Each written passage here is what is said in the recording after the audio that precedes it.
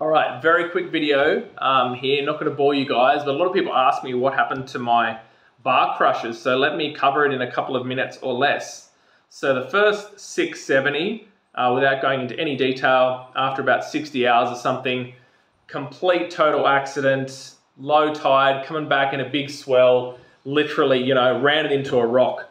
Um, dumb, dumb, dumb stuff.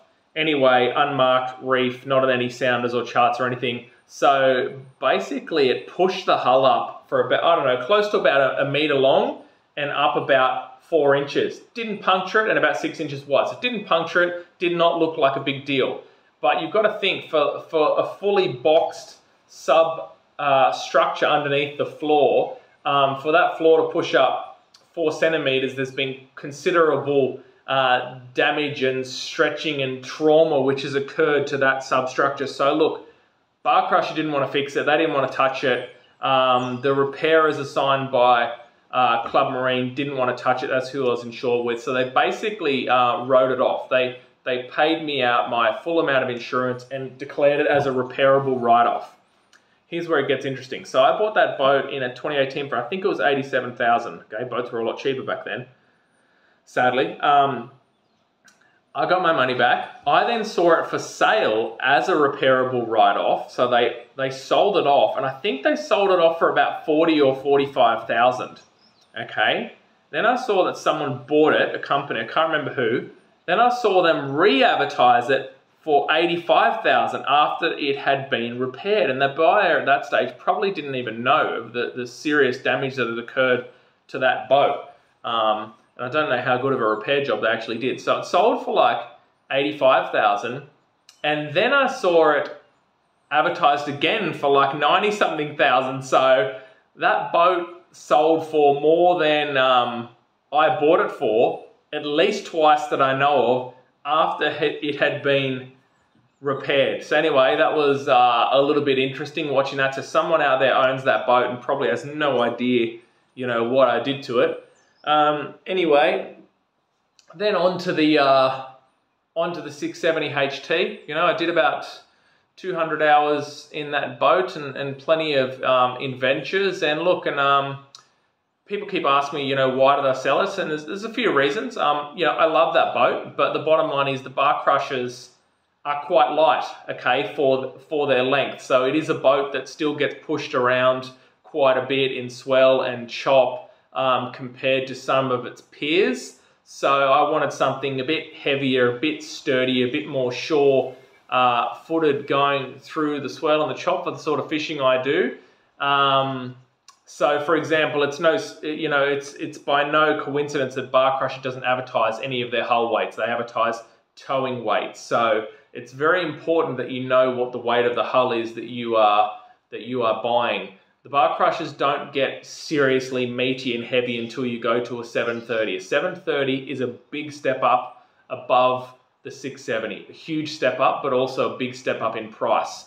So, you know, the 670 was just a little bit small for what I wanted, okay, and a little bit light. But in any case, um, more than that, it was really an opportunity. So like, for example, I watch interest rates, markets, housing, boat prices all the time. Okay, I watch and monitor things, and I sort of make my own predictions. And I really feel that the mark that the the boat market was secondhand market was absolutely peaking because of all the COVID sagas. And I also was aware that interest rates were about to start rising. Okay, and a lot of people borrow boat money for boats and things against their houses and mortgages and whatever. So basically I, I, saw this perfect storm coming, which has hit right now, which is that um, interest rates have gone up. Um, people that own all these boats that they probably shouldn't have bought and probably can't afford, so they're trying to dump them on the market. The secondhand boat market at the moment is absolutely flooded. Prices are declining really quickly. People are just trying to get out of these expensive boats. Bar crushers all over the market right now, secondhand. So I basically I um, predicted this perfect storm was going to come. There was an opportunity to sell my bar crusher for a good price. So I think I bought it for 114 in 2020. I spent another three and a half or something on it in little extras and here and there. And then I sold that boat for 124,000. So I actually made seven, grand, whatever that works out to be. Close to eight grand profit on that boat after using it and putting 200 hours on it. So it was an opportunity. It was not that I hated the boat. Um, absolutely loved that boat, but I, I knew that prices were going to crash um, because interest rates were going up. Um, so that pretty much did turn out, and I decided to take on a project boat just to remove myself from that whole situation, that whole equation. I went and got numerous quotes for for new boats in the six and a half to seven and a half meter price range.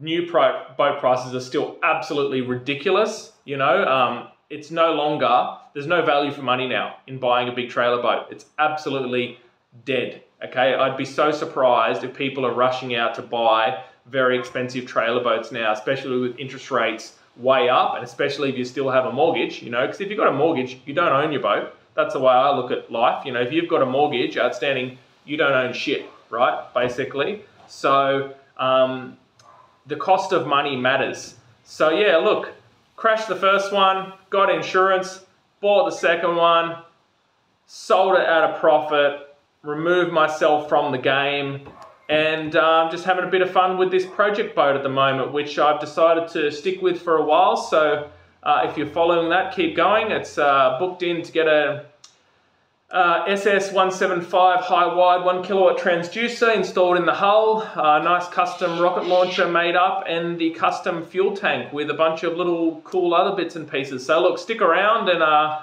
yeah, be plenty more videos to come. All right, chat soon.